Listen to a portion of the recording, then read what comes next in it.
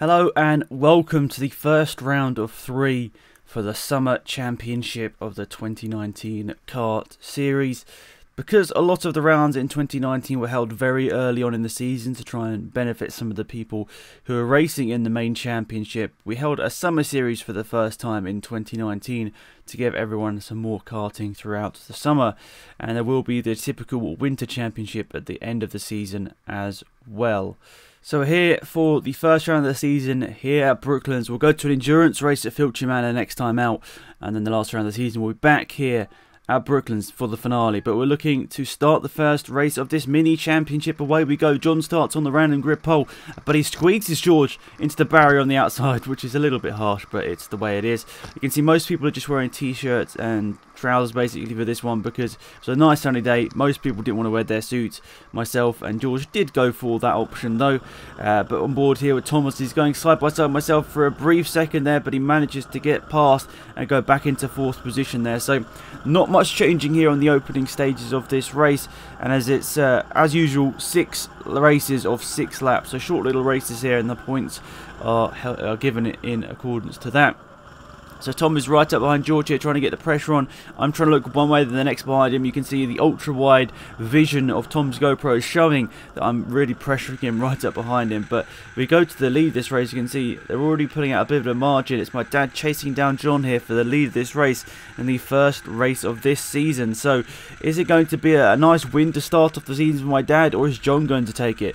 It looks like a two-way battle between these two as there's a bit of a gap behind these two now to Tom and myself who are battling over P3. Uh, also in that battle is George as well, I should say. He's currently in P3 out of all this.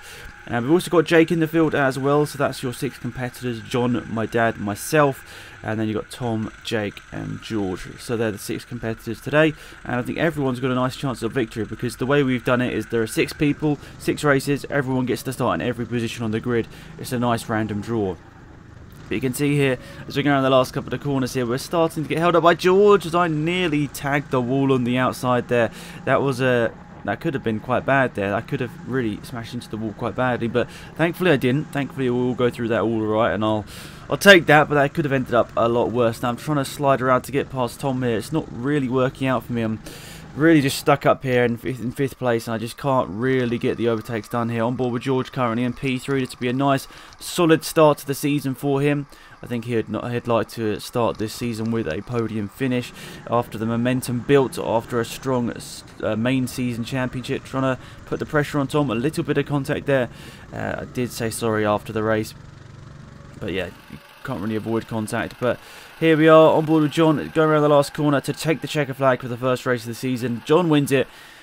Second place goes to my dad. Then this battle over third finishes with George on the podium, which you'll appreciate. That's a nice start there for George. He'll take that.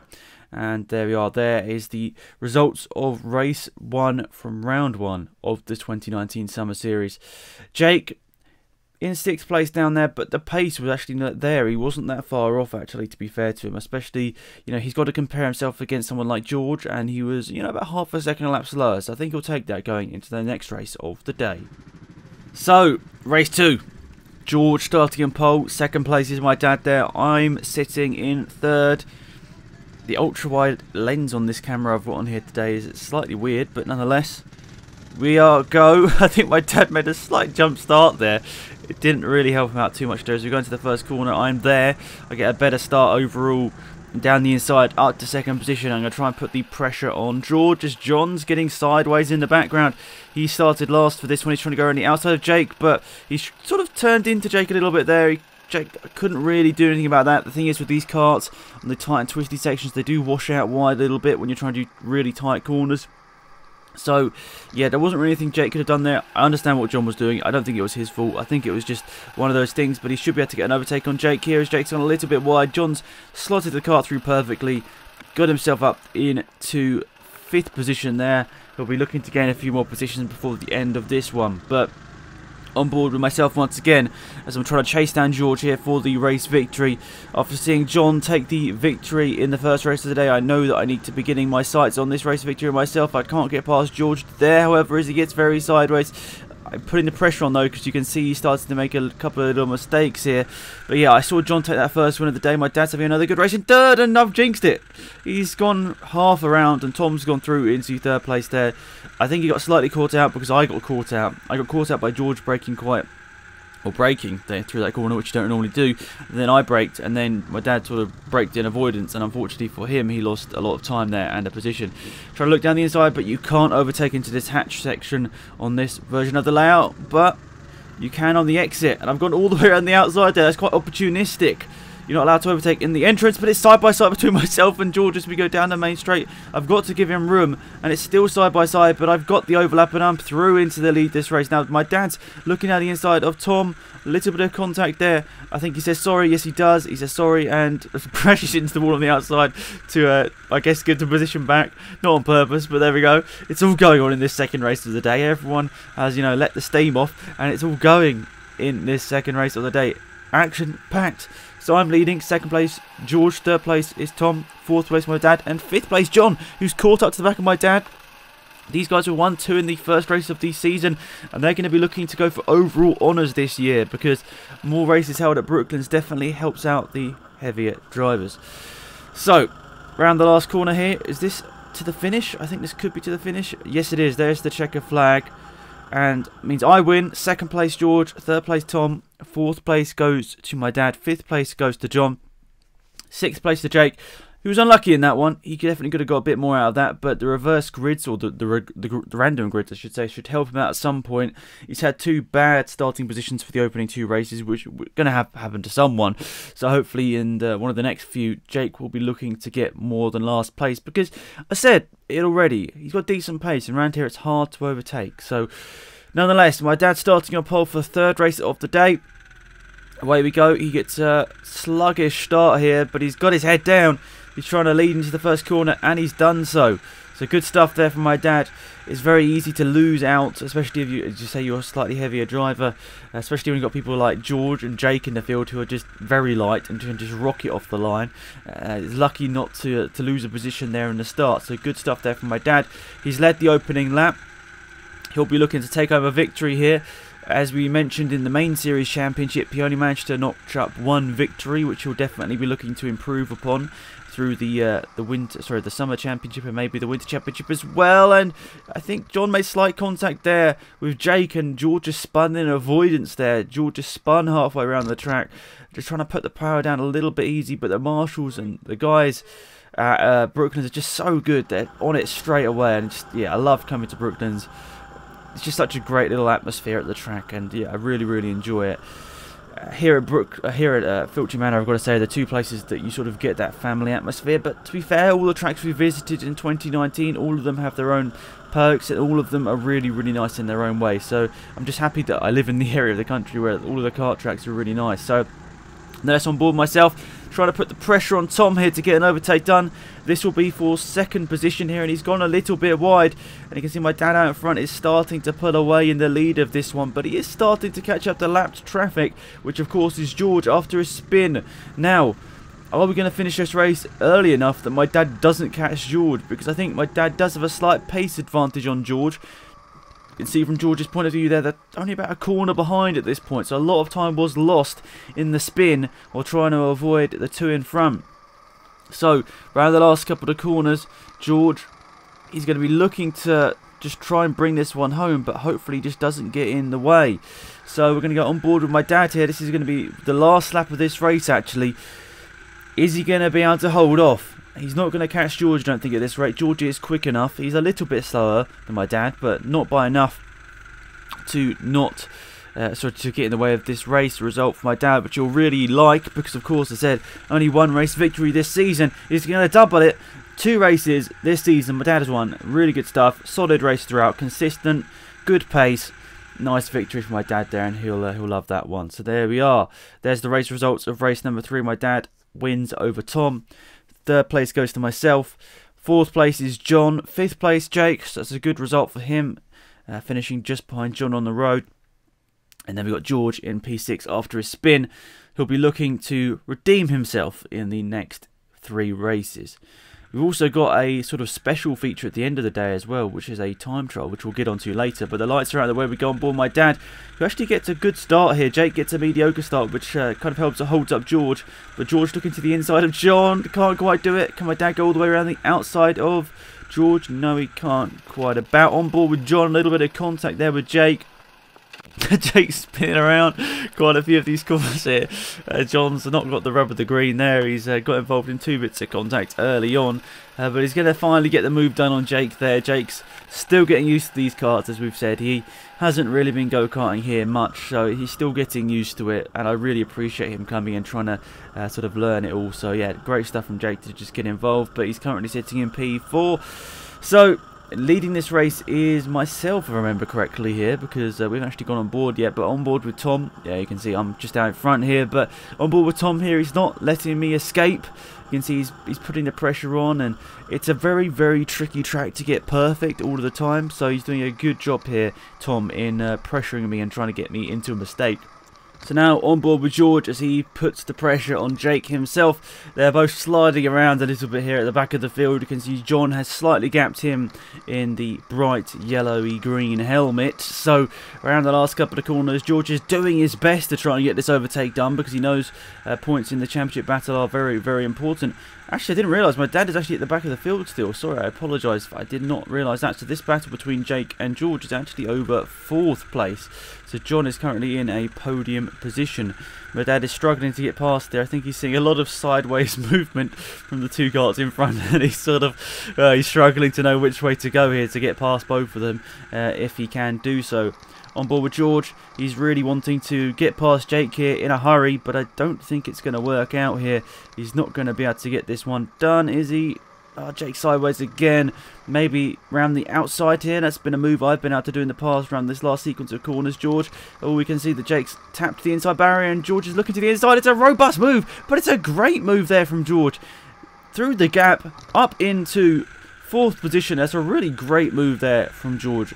Round of applause there, very opportunistic. Jake taking the wide line into the corner. As I said, he hasn't really driven this track much, so he's still getting used to where the, the sort of braking zones are. But my dad gets past on the last lap of the race. It's a bit, bit gutting for Jake going fourth down to sixth on the last lap of the race. That would have been his best result of the season so far. But there we are. George crosses the line. He gets uh, fourth place after a very hard-earned uh, finish there where he got up a position. But there's the results at the end of that one. Race number four was won by myself. Second place was Tom. Third place was John. Then George, my dad, and Jake.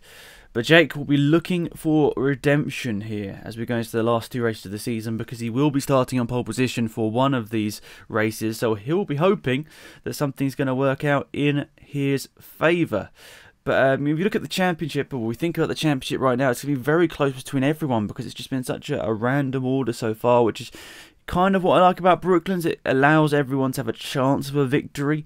of course, you want there to be rounds within the championship which sort of show outright speed and uh, give the points accordingly. But this one is always just good fun. So Jake starting in second place here. As away we go, we're on board with John here as he gets a mediocre start. Not great. Someone's trying to go on the outside there. Not too sure who that was. It possibly could have been George. So John sees Jake go wide. There's a bit of contact between the two of them. Jake can't disappear. And John's gone wide into the barriers on the outside. And his car has just gone. John's car has just gone. The engine is cut out. And that's going to be a red flag. That's going to be race over with, for John for now at least. But it's going to be a red flag, so it's going to give an opportunity to get back into the race here. But yeah, that's going to be a restart here. Luckily, John's kart was available to be fixed. Good job from the guys at Brooklands. And the race 5 was about to restart. So there we are. Flag is dropped. Away we go. Good start there from my dad. He can't quite beat George off the line in the second phase of the start, which you really need to wait. Um, oh, bit of contact between the two of them there as it's side by side. My dad can't quite get past. I think I'm trying to go all the way around the outside, and I make it stick. Finally, I risked it around the outside there because it wasn't normally an overtaking opportunity, but I've uh, got it done there. My dad's lost positions there and being squeezed into the wall. I've made contact to the inside wall there, so I'm trying to close down to George. On board with myself now. Just need to get past George as quickly as possible there. He's left a gap to the inside. I've squeezed down the inside there. He's tried to close the door, but it's too late. I was already there. And there we are, up into fourth position now. John is getting stuck up behind Jake, who is getting very sideways. He's getting very leery. Maybe he's just trying to push the limits a little bit far in these uh, last couple of races here. And side by side between the two of them into the first corner. Who's going to be the last person to back out? It's John. He keeps his uh, position. I get past as well, and there's a bit of contact between myself and John. John obviously was compromised into the corner, and now he's sort of pushed me wide into the wall on the outside. Close racing between the two of us here. I apologise for the contact uh, with John there because I was just I wasn't expecting him to be slow mid corner, but of course he was compromised with the uh, the way he came to the corner with Jake. So I'm putting the pressure on John here. I want to let him know I'm there. To have to do something different, try and go around the outside, but it's just not a good move around the outside there, unless it's the first lap of the race, obviously. Uh, but it's not a good move around the outside there, it just doesn't work out. So now on board my dad here, he's trying to get past Jake because George has done so already, and my dad's going to look to the inside line here. Oh, it's closing, it's closing the gap. I know, unfortunately, it's a spin there for Jake. Well, I, I think that was a bit of a racing incident. Maybe my dad will look at that and upon reflection, I think maybe he shouldn't have gone for it. I'm not too sure. But uh, on board with Tom here, you can see that the incident was cleared very quickly as both of them get underway, but he will be able to see them just in front. So that will be a worry for Tom here as we go into the la uh, latter stages of this lap. He's catching up to two carts, which are back markers here, so he's going to hope that my dad doesn't slow up too much. But yeah, the incident between my dad and Jake, just very unfortunate, really. Um, I think Jake probably didn't realise my dad was there. Sort of came across him a little bit. My dad maybe could have backed out. I don't know. Whatever it is. There's the checker flags. Uh, Tom's very lucky with the uh, with the with the guys being lapped, and there we are. Good stuff, and a little bit of post-race nudging there. Thumbs up from John. Good race, and I let him through there because obviously he needs to go ahead to the holding area for the grid for the next race. But yeah, good race from there, John. He did a really, really good job, I think, at holding me off. I did just keep putting him under a lot of pressure there to try and get second position.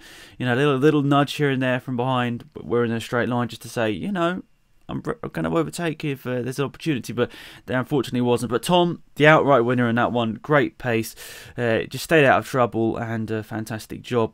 Obviously, very unlucky for Jake there to get half spun or get involved with that little just misunderstanding. It wasn't really anything malicious on either side. It was just a misunderstanding. So now on board myself here, starting in fifth place for the last race of the day. The flag is going to drop. Jake is starting on pole position. Now I'm going to try and get past my dad into turn one. It's going to be side by side. I've got good enough of a start to, to get past. Now on board with John. He's going to look to try and get past George, is he? Well, he's done it. There was a little bit of contact there, but I suppose you can excuse that on the first lap of the race here. Now, John makes contact uh, with Jake once again. So now on board with Tom. As going in the last couple of corners, he's trying to put George under pressure to get past him. Uh, close in these late stages of this race, but it looks like Tom's going to be able to try and go for a position here on George. At the front, Jake's still leading. John's in second. I'm putting the pressure on him. Jay makes a slight mistake, goes sideways. John gets involved with it. And I sneak through the gap and go in to second position. Now, I see Jake in the lead this race. I didn't want to do anything silly here because, of course, I knew that he got spun out in the previous race. I just didn't want to go crazy. So, I wasn't being 100% aggression at this point here. I was just trying to get to the end of this race and pick up solid championship points because I felt like I was in a good position I didn't want to be getting involved with an accident with Jake. John goes through, wins the race, takes an inevitable championship lead. So I was just being sensible in this occasion here and trying to just hold um, my position unless anything obvious happened. So, you know, back of my mind, championship always coming into consideration here. but Jake does make a mistake. Look one way than the next to try and get past him. J John makes slight contact with me there.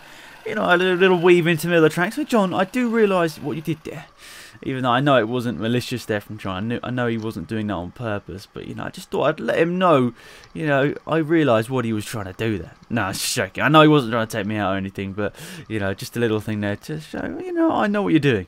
Um, but on board with George, on board with myself here. You can see I've I'm looking behind. I'm sort of realising that I'm in a good position right now. I know Jake probably isn't going to be a championship contender with his results here today, so just trying to be smart in this occasion here. I know we've got the time trial coming up in a few minutes, so I could get some more points there as well. So right now, just wanted to uh, to bring it home.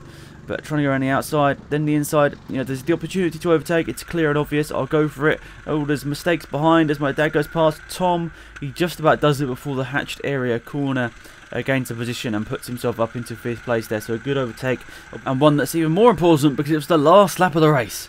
Jake wins his first race in the go-kart championship. Very happy for him. I came home second. Third place was John. Fourth place was George. Fifth place was my dad there with that good overtake right at the end, right when it mattered to get it done. He did it on Tom. And yeah, he'll be very happy with that extra point or two he gets in the championship. And yeah, so we'll be looking at the championship standings after this uh, in a minute. But we first got a time trial, so we all had a go in the fast car. There's only one fast car Brooklands, and we all had a go for a couple of laps. It's a nice little time trial. It was very different, much quicker than the other carts you see, and you'll, you'll, you'll basically see how much quicker it is. It's like the normal cart on 1.25 times speed. It's just quicker everywhere meaning you have to brake into certain corners which you wouldn't have to brake in. So, you know, we all just had a couple of laps. I was given a few laps before this just to warm up the car uh, with another session. They mixed in another session with us, so I was just given a bit of time to warm up the car. In fairness, probably should have given it to somebody else to warm up because I don't really need to be doing extra laps around here. I should have just given someone else the opportunity. But also in the back of your mind, you're thinking the kart's only going to get better over time as it gets warmer. Uh, the, the, second, third, fourth drivers are all going to have better karts, technically, than me because uh, they're going to have the kart all in perfect order. But then was at the same time I had more experience in it, so I think it maybe was a little bit unfair. But nonetheless, you know, I got a couple of laps there couple of timed runs in the other mixed session as well, which came up with these hot lap results, which gives us basically more points.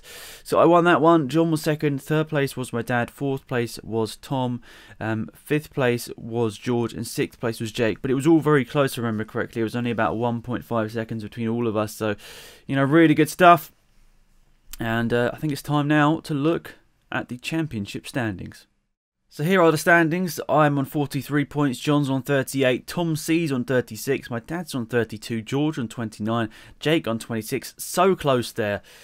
I mean, 17 points separating everyone after the first round. That is really, really nice to see. And if you're wondering what the point systems are for this race, you can go and look on the Go Kart Championship website, which is in the link in the description, but also I'll read it out to you. Um, so the winner of each round gets eight points. Second is six, then five for third, four for fourth, three for fifth and sixth. So there's not actually any difference finishing in fifth and sixth in terms of points, but obviously it looks better on the record. And then seventh and eighth will both get two points, and ninth and tenth will get one point, just because of the way it is. There were so little points to work with, you had to double up on some of them. But nonetheless, that's how the point standings looked after the First round of the championship. Next one is uh, an endurance race coming up shortly. You'll see on the channel. That was a really good race, and I'm looking forward to sharing that one with you. Thanks for That's it. Thank you for watching. Black. I'm out here. Goodbye.